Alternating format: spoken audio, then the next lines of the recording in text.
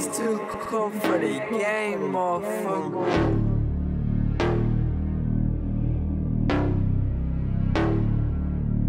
Turn up.